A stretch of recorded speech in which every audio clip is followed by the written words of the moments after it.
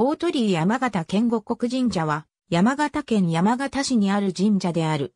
明治維新から第二次世界大戦までの戦没者4万余り柱を祀る。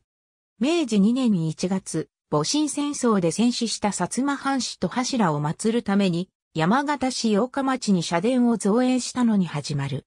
明治8年に山形商魂社となり、以降山形県関係の戦没者を合祀した。明治22年山形市宮町に遷座し、明治44年の山形市北大火の最悪で、社殿消失の浮き目にあったが、大正3年に再建された。昭和9年千歳公園内の現在地に遷座した。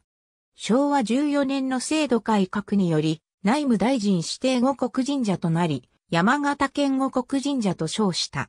GHQ 占領下の昭和22年から昭和27年においては、所在地の千歳公園にちなんで、千歳宮と称していた。現在の拝殿は、平成6年に改築されたものである。初詣の参拝客は、例年山形県内で最も多く、約13万人となっている。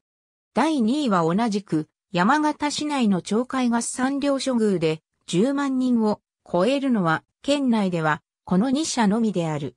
ご由緒。公式サイトより、県内の初詣91万6千人前年比3万3千人増。山形新聞。2011年9月7日閲覧。閉塞館高いへ、最後は神頼み初詣に100万人超、過去10年で、最多山形新聞。